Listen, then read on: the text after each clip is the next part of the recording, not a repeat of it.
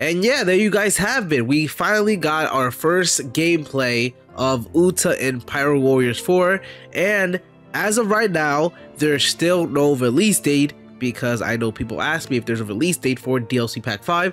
The answer is no, not yet. But once we do get a release date, I will let you guys know as always.